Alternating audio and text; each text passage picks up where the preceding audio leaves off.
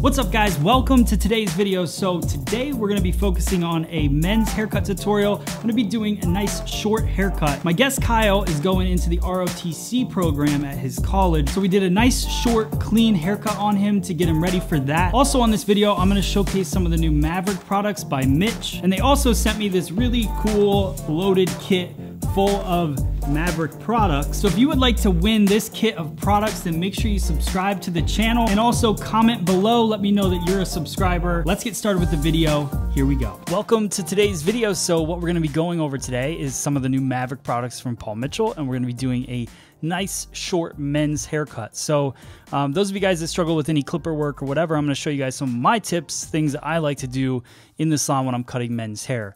Um, so the first thing I do is I spray in the Maverick grooming spray. This has a light hold and I spray it on Kyle's wet hair and then I go through and I blow dry it just to smooth everything out. I think when you get a nice polished finish on the hair before you go to cut it, it takes away any of like the hair from kind of popping out where you don't want it to uh, for the haircut. So I go through and I really rock and work that clipper out. So I think the key thing here is to kind of develop that line that follows the head shape, kind of follows the contour of the head shape uh, back to the occipital bone, comes across that, and then back up towards the temple area on both sides. Uh, the other thing I want to uh, really pay attention to is just to make sure that this is balanced because um, you want to make sure that any weight lines that you're building on each side of the head, when you're looking at them straight on, that you have that balanced uh, shape to it. So I'm using a one guard. So, and I'm using an Andis uh, cordless clipper. I'm not sure exactly the model of this one, but um, I'm using the magnetic clip guards, which I really love.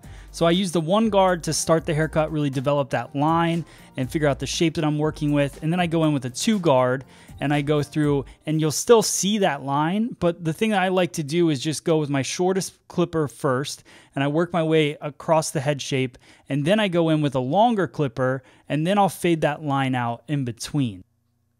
So staying consistent with the way that I kind of pull that clipper away. And now I go in with a one guard fully open. So that makes it the longest length that it can be. So almost like a one and a half.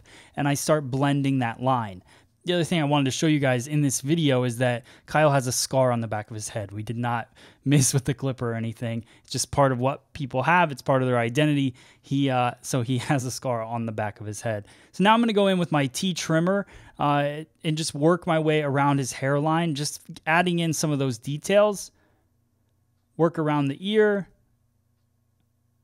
and now do a little trimmer over comb um, at, in little spots that I see just to help blend in the top and the bottom. So now I go in with the clipper uh, no guard, uh, fully open, and I just kind of go around the back of his hairline just to make it really have a natural look. So the last thing I'm going to do is I'm going to work my way across the top of the head shape, bringing everything up. This is a traveling guide, so I cut my first guide in the very back, and I work my way straight through the top of the head. That's going to give it more of a flat top feel, and then I'm going to round it off to blend into the parietal ridge area into the sides.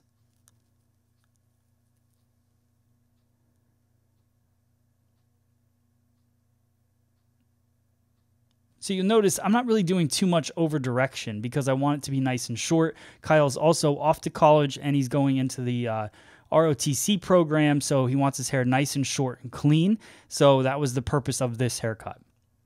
So now just a little extra detail work, scissor over comb, and I'm going to work into that cowlick area. The way that I like to cut into the cowlick is just really let the hair fall the way that it wants to. So notice my diagonal partings as I work around that cowlick is exactly the way that the hair is trying to fall. And that to me gives it the best blend and it doesn't stick straight out. Um, I think when you try to fight the way that it wants to fall naturally, that's when you're going to have challenges um, in that cowlick area. So I just work my way around, a little bit more scissor over comb, finishing up some of the details there.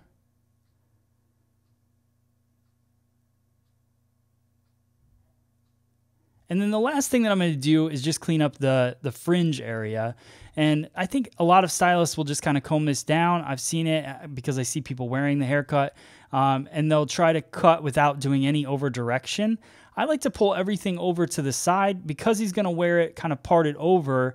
Um, bring everything over just like I would cut female fringe and uh, over direct it to me and cut it. And that gives it a little bit of layering um, and it gives it a nice soft feel and it really kind of wraps around the shape of the head. So I just like the way that it looks. And then once I comb that down, then I can do that fine detail work with the tip of the scissor and just follow my line and create whatever the line is that I'm looking for.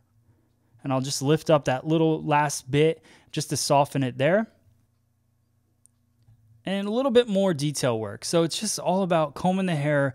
I, I think with men's hair, another important thing is that he's not going to put a ton of effort into styling it, even though I'm going to try to coach him and tell him different products to use. He's not going to put a ton, as much time as I am. So I want to make sure that no matter how he combs this or how he puts it, it lays nice. So this is the original pomade from Maverick. Um, it's got a medium hold, natural shine. Love the way that it feels in the hair because it's nice and light, but it just gives it a nice clean cut look. So um, I, I, put that in his hair. I give it a little comb through, um, style it out. He's not looking for anything super fancy, just wants a nice clean cut. So there you guys go. Hope you like the techniques that I showed you. Definitely uh, let me know if you have any questions. Thanks for watching.